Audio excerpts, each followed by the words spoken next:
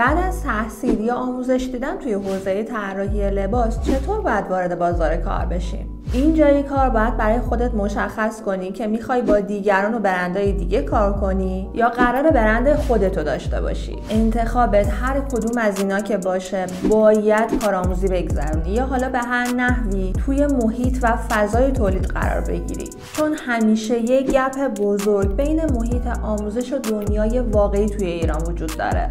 جدا از اون حتی اگر بهترین دوره ها رو هم گذرونده باشی باید توی محیط کار با تجربه و چالش هایی که داره درگیر بشی. خب حالا بعد از گذروندن کارآموزی تصمیم گرفتی که برند خودتو داشته باشی. تو توی محیط کار برندهای موفق دیگه کلی تجربه کسب کردی و راه و چاه و یاد گرفتی. با مسیر کار تولید از طراحی تا اجرا و فروش کامل آشنا شدی. گافایی که شاید اگر توی برند خودت می‌دادی کلی ضرر مالی رو متحمل می‌شدی رو توی یه برند دیگه به هر نحوی دادی. و با همه اینا میری برای استارت برند خودت با هر روی کردی که مد نظرته.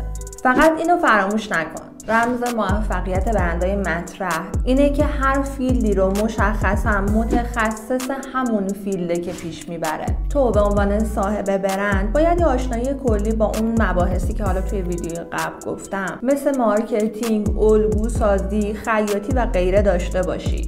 اما متخصصین این حوزه ها حتما باید کنارت باشن. این از این. اما اگر نخوای برند شخصی تو داشته باشی و یا بخوای با برندهای دیگه به هر نحوی همکاری بکنی چجوری میشه؟ اینجا دو تا حالت داری.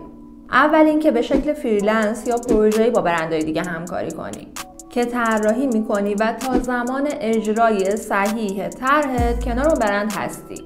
یا حالت دوم اینجوریه که قراره به شکل کارمندی باشون همکاری کنی. منظورم از کارمندی اینه که تمام مدت قرار توی اون محیط حضور داشته باشی. خب اینجا اینو در نظر داشته باشین که توی ایران شرکت ها تمام تلاششون رو می‌کنن که بیشترین خروجی رو از هر کارمند بگیرن. به خاطر همینه که توی آگهی استخدامی طراحی لباس می‌بینید که یه توماری از توانمندی نوشتن. پیشنهاد من اینجا اینه که حتما نرم افزار کلوتریدی رو یاد بگیرید. چون که با کلوتریدی هم خروجی تریدی از کارتون می‌گیرید و هم هوش مصنوعی کلوتریدی بهتون الگوهای کارم میده.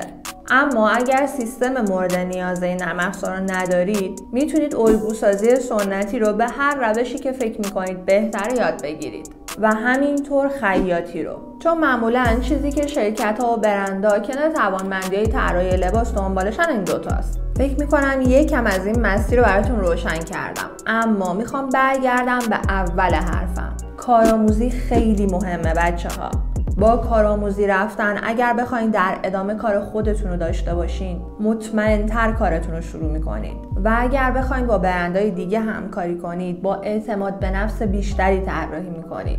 و یه رزومن برای خودتون می‌سازید.